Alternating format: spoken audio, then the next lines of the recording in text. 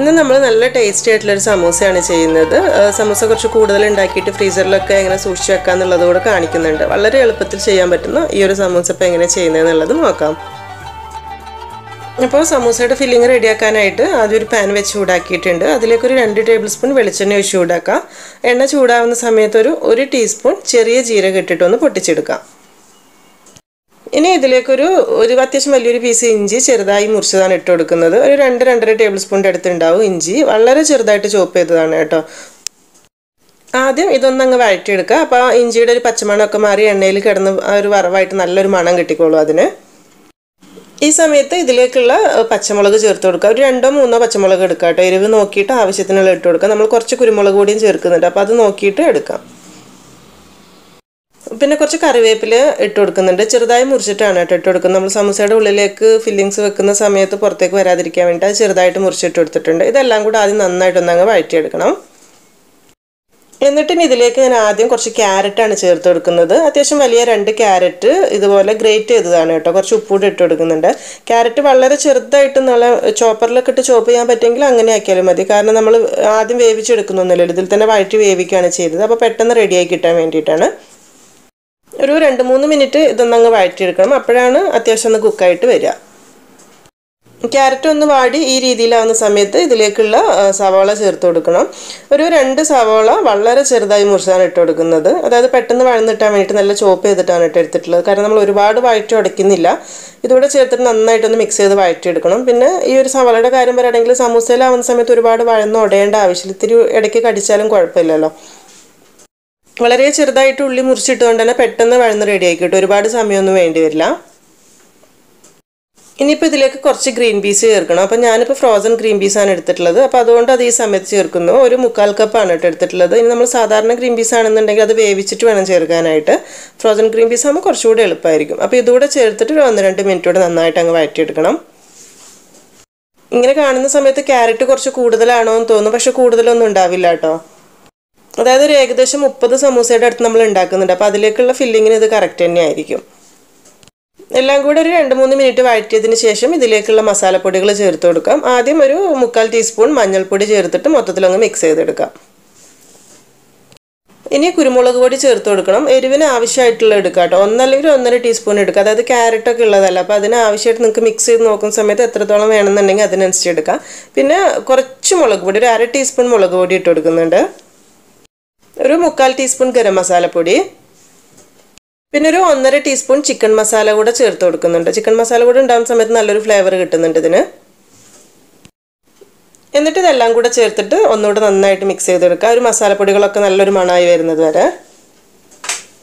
പിന്നെ സമൂസയ്ക്ക് നല്ലൊരു flavour taste കിട്ടാൻ വേണ്ടി ഞാൻ കുറച്ചൊരു മാംഗോ പൗഡർ ചേർക്കുന്നുണ്ട് കേട്ടോ ഇതുപോലെ നമ്മൾ റെഡിമെയ്ഡ് ആയിട്ട് വാങ്ങിക്കുന്ന ഡ്രൈ മാംഗോ പൗഡർ ഉണ്ടല്ലോ അത് കുറച്ച് ചേർത്ത് കൊടുക്കുന്നുണ്ട്. ഒരു ഒരു ടീസ്പൂണ് ഇതിന് ചെറിയൊരു പുളിയും ഒക്കെ ആയിട്ട് നല്ലൊരു ടേസ്റ്റ് ആയിരിക്കും. അപ്പോൾ അതുകൂടെ ചേർത്തിട്ട് നന്നായിട്ടൊന്ന് മിക്സ് ആക്കി എടുക്കാം. ഇനിയിപ്പോൾ നമ്മളിത് ചിക്കൻ സമൂസയൊക്കെ ചെയ്യുന്നതുകൊണ്ട് തന്നെ ഒരു ഇരുന്നൂറ് ഗ്രാം എല്ലില്ലാത്ത ചിക്കൻ കുറച്ച് മഞ്ഞൾപ്പൊടി കുരുമുളക് ഉപ്പ് ഇട്ടിട്ട് വേവിച്ചെടുത്തിട്ടുണ്ടായിരുന്നു. അത് ചെറുതായിട്ട് നന്നായിട്ടൊന്ന് ചോപ്പ് ചെയ്തെടുത്തിട്ടുള്ളതാണ്. മിക്സിയിലിട്ട് കറക്കണമെങ്കിൽ ഒന്ന് കറക്കാം അല്ലെങ്കിൽ നന്നായിട്ട് ഇതുപോലെ ചെറുതാക്കി ചോപ്പ് ചെയ്തെടുക്കുക അതുകൂടെ ചേർത്തിട്ട് മിക്സ് ആക്കി എടുക്കണം. അപ്പോഴാണ് നമ്മൾ സമൂസയ്ക്ക് നല്ലൊരു ടേസ്റ്റ് കിട്ടുക. ഇനിയിപ്പോൾ ചിക്കൻ വേണ്ട വെജിറ്റബിൾ സമൂസ ആണെന്നുണ്ടെങ്കിൽ അതിന് തൊട്ട് മുൻപുള്ള സ്റ്റേജിൽ നിർത്താം കേട്ടോ നമുക്ക് കുറച്ച് കിഴങ്ങൂടെ ചേർത്ത് കഴിഞ്ഞാൽ വെജിറ്റബിൾ സമൂസയ്ക്കുള്ള മിക്സും റെഡി ആയിട്ട് കിട്ടും. അപ്പോൾ ചിക്കൻ ചേർത്തിട്ട് നന്നായിട്ടൊന്നങ്ങ് മിക്സ് ആക്കി എടുക്കുക അതിനുശേഷം കുറച്ച് മല്ലിയില ഇട്ട് കൊടുക്കണം. ചിക്കൻ ഇതിലേക്ക് ചേർത്ത് കഴിഞ്ഞിട്ട് ഒരു ഒരു മിനിറ്റ് എന്തായാലും നന്നായിട്ടൊന്ന് അങ്ങ് വഴറ്റിയെടുക്കണം. അപ്പോഴാണ് മൊത്തത്തിൽ ആ മസാലയും ചിക്കനും എല്ലാം കൂടെ നന്നായിട്ടൊന്ന് മിക്സ് ആയി കിട്ടുക. ഇനി ലാസ്റ്റ് ഇതിലേക്ക് കിഴങ്ങ് ചേർത്ത് കൊടുക്കണം. അപ്പോൾ ഞാനിപ്പോൾ ഇവിടെ മീഡിയം വലിപ്പത്തിലുള്ള ഒരു കിഴങ്ങ് വേവിച്ച് ഉടച്ചെടുത്തിട്ടുള്ളതാണ് കേട്ടത് അപ്പോൾ നിങ്ങൾക്ക് കിഴങ്ങിന്റെ അളവ് കൂട്ടണം എന്നുണ്ടെങ്കിൽ കൂട്ടാം കേട്ടോ. കാരണം സമൂസ ആവുന്ന സമയത്ത് ഇത്തിരി കിഴങ്ങ് വേണം. അപ്പോൾ നിങ്ങൾക്ക് എങ്ങനെയാണ് ഇഷ്ടം എന്നുണ്ടെങ്കിൽ അതുപോലെ ചെയ്യാം. ഇതിപ്പോൾ ഒരുപാട് ഉണ്ടാവില്ല. ശരിക്കും നമ്മൾ എടുത്തിട്ടുള്ള ആ ഒരു ക്യാരറ്റ് ചിക്കന്റെ കളവിലേക്ക് മീഡിയം വലിപ്പത്തിലുള്ള ഒരു രണ്ട് കിഴങ്ങ് വേവിച്ച് ചേർക്കാം കേട്ടോ. പക്ഷെ ഞാനിപ്പോൾ അത് കുറച്ചേ ചേർക്കുന്നുള്ളൂ. അപ്പോൾ കിഴങ്ങൂടെ ചേർത്തിട്ട് നന്നായിട്ട് മിക്സ് ചെയ്തെടുത്താൽ നമ്മൾ സമൂസയ്ക്ക് ആവശ്യമായിട്ടുള്ള ഫില്ലിങ് റെഡി ആക്കി കിട്ടും. പല രീതിയിൽ നമ്മൾ സമൂസ ഉണ്ടാക്കലുണ്ട്. പല ടൈപ്പ് വെറൈറ്റി ഫില്ലിങ്സ് റെഡി ആക്കലുണ്ട്. അപ്പോൾ അതിൽ ഞാൻ കൂടുതലായിട്ട് ചെയ്യുന്ന ഒരു ഫില്ലിങ്സ് ആണിത്. അപ്പം ഈ ഒരു അളവിൽ നമുക്ക് ഏകദേശം ഒരു മുപ്പത് സമൂസേന്റെ ഉള്ളിലാണ് ഉണ്ടാക്കിയെടുക്കാനായിട്ട് പറ്റുക. അപ്പോൾ നിങ്ങൾക്ക് കുറച്ചുകൂടി അളവ് കൂടുതൽ വേണം. അല്ലെങ്കിൽ കിഴങ്ങ് കഴിക്കാൻ കൂടുതൽ ഇഷ്ടമുള്ളവർക്കാണെങ്കിൽ ഒരു കിഴങ്ങൂടെ വേവിച്ചിട്ട് ഉടച്ചിടാം അപ്പോൾ ഒരു ഇത്തിരി കൂടെ അളവ് കൂടുതൽ കിട്ടും. അപ്പോൾ ഇതിന് നന്നായിട്ടൊന്ന് ചൂടാറാൻ വേണ്ടി ഒരു സൈഡിലേക്ക് മാറ്റി വെക്കാം. ഇനി ഇതിലേക്ക് നമുക്ക് കുറച്ചൊരു മൈദ ഒരു ഇത്തിരി വെള്ളം കൂടെ ചേർത്തിട്ട് ചെറിയൊരു പേസ്റ്റ് ആക്കി എടുക്കണം. ആ സമൂസ ഷീറ്റ് ഒന്ന് ഒട്ടിച്ചെടുക്കാൻ വേണ്ടിയിട്ടാണ്. അപ്പോൾ അതിനായിട്ടൊരു മൂന്ന് ടേബിൾ സ്പൂൺ മൈദ എടുത്തിട്ട് അതിലേക്ക് കുറച്ച് വെള്ളം ഇത്തിരി ഇത്തിരി ഒഴിച്ചു കൊടുത്തിട്ട് നന്നായിട്ടൊന്ന് മിക്സ് ആക്കി എടുക്കാം. ഈ ഒരു രീതിയിലാക്കിയിട്ട് ഒരു സൈഡിലേക്ക് എടുത്തു വെക്കാം. ഞാനിപ്പോൾ ഇവിടെ റെഡിമെയ്ഡ് സമൂസ ഷീറ്റിലാണ് കേട്ടോ ചെയ്യുന്നത്. നമുക്കിപ്പോൾ നാട്ടിലാണെങ്കിൽ ഇവിടെ ആണെങ്കിൽ എപ്പോഴും നല്ല ഈസി ആയിട്ട് കിട്ടുന്നതാണ് ഈ സമൂസ ലീവ്സ്. അപ്പോൾ അതുകൊണ്ട് തന്നെ അതാണ് ഇപ്പോൾ എടുത്തിട്ടുള്ളത്. ഇനിയിപ്പോൾ നമുക്ക് വീട്ടിലുണ്ടാക്കുന്നവർക്കാണെങ്കിൽ ആ ഒരു രീതിയിലും ചെയ്യാം കേട്ടോ. നമുക്ക് വീട്ടിൽ തന്നെ ഉണ്ടാക്കുന്ന സമൂസ ഷീറ്റ് എങ്ങനെ ഉണ്ടാക്കുക എന്നുള്ള വീഡിയോ ഞാൻ എന്തായാലും ചെയ്യാം. ഇനി സമൂസയ്ക്ക് വേണ്ടിയിട്ട് കോൺ ഷേപ്പിൽ ഇതൊന്നും മടക്കി എടുക്കാം അപ്പോൾ എല്ലാവർക്കും അറിയുന്നതായിരിക്കും. എന്നാലും അറിയാത്തവർക്ക് വേണ്ടിയിട്ട് ജസ്റ്റ് ഒന്ന് കാണിക്കാം. ഇതുപോലെ വേണമെന്നുണ്ടെങ്കിൽ എളുപ്പത്തിൽ ഈ ഒരു രീതിയിൽ ചെയ്യാം. അല്ലാന്നുണ്ടെങ്കിൽ ജസ്റ്റ് കയ്യിൽ ചുറ്റിയെടുക്കുന്നത് ഇപ്പോൾ ഞാൻ കാണിക്കട്ടെ എങ്ങനെയാണെന്നുള്ളത് ഇതാ ഈ ഒരു രീതിയിൽ ചെയ്തിട്ട് ഇതാ ഇങ്ങനെ ഒരു കോണാക്കി എടുക്കുക ആദ്യം. എന്നിട്ട് ഇതിന്റെ സൈഡിലേക്ക് നമ്മൾ ആദ്യം മിക്സ് ആക്കി വെച്ചിട്ടുള്ള മൈദ പേസ്റ്റ് ഉണ്ടല്ലോ അത് കുറച്ചങ്ങ് ആക്കി കൊടുക്കാം. ഇത് നമ്മൾ മൈദ ഇങ്ങനെ ആക്കുന്ന സമയത്ത് സമൂസ ഷീറ്റ് ജസ്റ്റ് ഇതുപോലെ വലിച്ചൊന്നങ്ങ് സൈഡിലേക്ക് വെച്ച് കൊടുത്താൽ പറ്റും അപ്പോഴാണ് കറക്റ്റ് ഇതിന്റെ ഉള്ളൊരു കോൺ പോലെ കിട്ടുക. എന്നിട്ട് ഇത് ഇങ്ങനെ എടുത്തിട്ട് ഇതിന്റെ ഉള്ളിലേക്ക് ഒരു ഒന്നോ രണ്ടോ ടേബിൾ സ്പൂൺ ഫില്ലിങ് വെച്ച് കൊടുക്കുക. എത്രയ്ക്ക് വേണമെന്നുണ്ടെങ്കിൽ അതിനനുസരിച്ച് വെച്ച് കൊടുക്കാം.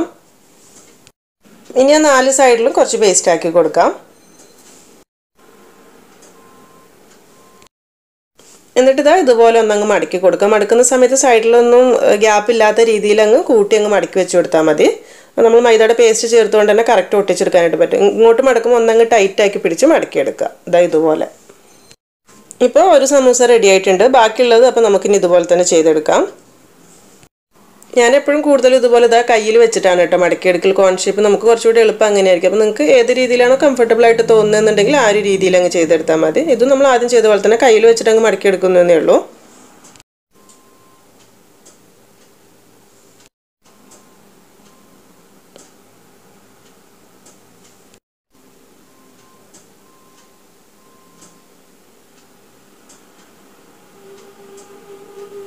അപ്പോൾ ഇനി ബാക്കിയുള്ള എല്ലാ സമൂസയും ഇതുപോലെ തന്നെ ചെയ്തെടുക്കാം. ഇപ്പം ഞാൻ എല്ലാ സമൂസയിലും ഫില്ലിങ്സൊക്കെ നിറച്ചെടുത്തിട്ടുണ്ട് കേട്ടോ. ഈ വലുപ്പത്തിലുള്ള ഒരു ഇരുപത്തിയെട്ട് സമൂസയാണ് ഇപ്പോൾ ഞാൻ ചെയ്തെടുത്തിട്ടുള്ളത്. അപ്പോൾ നമ്മൾ കിഴങ്ങിന്റെ അളവ് കൂട്ടുകയാണെങ്കിൽ കുറച്ചുകൂടെ കൂടുതൽ ഉണ്ടാക്കാനായിട്ട് പറ്റും. ഇനിയിപ്പോൾ ഇത് സ്റ്റോർ ചെയ്ത് വെക്കുന്നത് എങ്ങനെയാണെന്ന് വെച്ചാൽ ഞാനിപ്പോൾ ഒരു ഇതുപോലത്തെ ഒരു പാത്രത്തിലേക്ക് ആദ്യം ഒരു ബട്ടർ പേപ്പർ വെച്ചിട്ടുണ്ട് അതിന്റെ ഉള്ളിലേക്ക് കുറച്ച് സമൂസ എടുത്ത് വെക്കുക. അതിന്റെ മുകളിൽ ഒരു പീസ് ബട്ടർ പേപ്പറോ ഫോയിൽ പേപ്പറോ എന്തെങ്കിലും വെച്ചിട്ട് ഇതാ ഇതുപോലെ ആക്കിയിട്ട് നന്നായിട്ട് കവർ ചെയ്തിട്ട് വേണം ഫ്രീസറിൽ വെക്കാനായിട്ട്. എയർ ടൈറ്റ് ആയിട്ടുള്ള ബോക്സ് ആയിരിക്കണം കേട്ടോ. ഇതിന്റെ ഉള്ളിലേക്ക് അതായത് തണുപ്പ് കയറി ഐസ് ആവാൻ പാടില്ല. അപ്പോൾ അതുകൊണ്ട് നന്നായിട്ടൊന്ന് കവർ ചെയ്ത് വെച്ചിട്ട് ഫ്രീസറിലേക്ക് എടുത്ത് വെക്കാം. ഇത് നന്നായിട്ട് ഫ്രീസ് ആയി കഴിഞ്ഞാൽ പിന്നെ നമുക്ക് എത്രയ്ക്കാണ് ആവശ്യമുണ്ടെന്ന് വെച്ചാൽ ആ ഒരു സമയത്ത് കുറച്ച് മുമ്പ് എടുത്ത് പുറത്തേക്ക് വെക്കുക ഒരു നാലഞ്ചെണ്ണം മരുന്ന് എടുത്തിട്ട് വേറെ പ്ലേറ്റിലേക്ക് എടുത്ത് പുറത്ത് വെക്കുക. അതങ്ങ് തണുപ്പ് പോയി കഴിയുമ്പോൾ വറുത്തെടുത്താൽ മതി. എല്ലാം കൂടെ ഒന്നിച്ചെടുത്ത് ഈ ഒരു ബോക്സ് അങ്ങനെ എടുത്ത് പുറത്ത് വെച്ചിട്ട് നമുക്കൊരു നാലെണ്ണം എടുത്ത് വറുത്തിട്ട് ബാക്കിയുള്ളത് പിന്നെയും ഫ്രീസറിലേക്ക് കയറ്റെടുത്തിട്ട് ആവശ്യമുള്ളത് മാത്രം പുറത്തേക്ക് എടുത്താൽ മതി. ഇത് ബട്ടർ പേപ്പർ ഇങ്ങനെ വെച്ചിട്ടില്ലെങ്കിൽ ഒട്ടിപ്പിടിക്കുന്ന പ്രശ്നമൊന്നും ഉണ്ടാവില്ല. ഇനി ഇതുപോലത്തെ സിബ് ലോക്ക് ബാഗ് കയ്യിലുണ്ട് എന്നുണ്ടെങ്കിൽ ഇതിലാക്കി എടുത്ത് വെക്കുകയാണെങ്കിൽ എളുപ്പമായിട്ടോ ഇതിപ്പോൾ കുറച്ച് വലിയ ബാഗാണ് ഇതുപോലത്തെ ചെറുതുണ്ടാവും. അപ്പോൾ അതിലൊരു നമുക്ക് ആവശ്യമുള്ളൊരു അഞ്ചോ ആറെണ്ണോ വീതം എടുത്ത് വെച്ചിട്ട് ഫ്രീസറിൽ ഇതുപോലെ സൂക്ഷിച്ച് വെക്കുകയാണെങ്കിൽ നല്ല സിബ് നല്ല ലോക്കായിരിക്കണം കേട്ടോ. അത് ശ്രദ്ധിക്കണം. അല്ലെങ്കിൽ അതിന്റെ ഉള്ളിലേക്ക് ഐസ് കയറും. അപ്പോൾ ഇതുപോലെ സൂക്ഷിച്ച് ഫ്രിഡ്ജിൽ വെക്കുകയാണെന്നുണ്ടെങ്കിൽ ഫ്രീസറിൽ വെക്കുകയാണെന്നുണ്ടെങ്കിൽ നമുക്ക് ആവശ്യമുള്ള സമയത്ത് ആ ചെറിയ ഒരു സിബ് ലോക്ക് ബാഗ് പുറത്തെടുത്ത് വെച്ചാൽ മതി. അപ്പോൾ ഇങ്ങനെ വേണമെങ്കിൽ ചെയ്യാവുന്നതാണ്. ഇനി നമ്മൾ സാധാരണ ഫ്രൈ ചെയ്യുന്ന പോലെ തന്നെ ആവശ്യത്തിനുള്ള ഓയിൽ നന്നായിട്ട് ചൂടാക്കി എടുക്കുക എണ്ണ നല്ല ചൂടുണ്ടാവണം കേട്ടോ. എന്നാലേ നല്ല കറക്റ്റുള്ള പെർഫെക്ഷനിൽ കിട്ടുള്ളൂ. അല്ലെങ്കിൽ ഒരു എണ്ണ കുടിച്ചിരിക്കുന്ന പോലെ ഉണ്ടാവും. ഇങ്ങനെ ആവുന്ന സമയത്ത് എണ്ണ കുടിക്കുന്ന പ്രശ്നമൊന്നും വരില്ല. ഒരു ഭാഗം ഫ്രൈ ആവുന്ന സമയത്ത് തിരിച്ചും മറിച്ചു ഇട്ട് കൊടുക്കുക. സമൂസ ആയതുകൊണ്ട് തന്നെ ഒരുപാട് സമയമൊന്നും വേണ്ട. പെട്ടെന്ന് ഫ്രൈ ആയി കിട്ടും കേട്ടോ. പിന്നെ നമുക്ക് പാനിൽ എത്രയ്ക്ക് സ്ഥലം ഉണ്ടെന്നുണ്ടെങ്കിൽ അത്രയ്ക്ക് നിറച്ച് തന്നെ ഇട്ട് ഫ്രൈ ചെയ്ത് എടുക്കുകയും ചെയ്യാം. കുറച്ച് കുറച്ച് ഇടേണ്ട ആവശ്യമൊന്നുമില്ല. ഇപ്പോൾ ഇത് രണ്ട് ഭാഗവും റെഡി ആയിട്ടുണ്ട്. എണ്ണയിൽ നിന്ന് മാറ്റാം. അപ്പം നല്ല നല്ല ക്രിസ്പി ടേസ്റ്റി ആയിട്ടുള്ള നമ്മളെ സമൂസ റെഡി ആയിട്ടുണ്ട്. സമൂസയൊക്കെ ആവുന്ന സമയത്ത് ചൂടോട് കൂടെ കഴിക്കുമ്പോഴാണ് അതിന്റെ കറക്റ്റ് ടേസ്റ്റ് കിട്ടുക. അപ്പോൾ ഇതുപോലെയൊക്കെ ഉണ്ടാക്കിയിട്ട് ഫ്രീസറിലൊക്കെ എടുത്ത് സൂക്ഷിച്ച് വെക്കുകയാണെങ്കിൽ ശരിക്കും നമുക്ക് ആ നോമ്പ് തുറക്കുന്നതിന് കുറച്ച് മുൻപ് അങ്ങ് എടുത്ത് ഫ്രൈ ചെയ്തെടുത്താൽ മാത്രം മതിയാകും. അപ്പോൾ സമൂസ എല്ലാവരും ചെയ്യുന്ന റെസിപ്പി തന്നെയായിരിക്കും. എന്നാലും ഈ ഒരു രീതിയിൽ നിങ്ങൾ ചെയ്തിട്ടില്ല എന്നുണ്ടെങ്കിൽ ഇനി ചെയ്ത് വെക്കുന്ന സമയത്ത് ഫീഡ്ബാക്ക് ഒക്കെ അറിയിക്കണേ. അതുപോലെ ഈ ഒരു വീഡിയോ നിങ്ങൾക്ക് ഇഷ്ടമായിട്ടുണ്ട് എന്നുണ്ടെങ്കിൽ എന്തായാലും ലൈക്ക് ചെയ്യാനും ഷെയർ ചെയ്യാനും കൂടെ മറക്കരുത് കേട്ടോ. താങ്ക്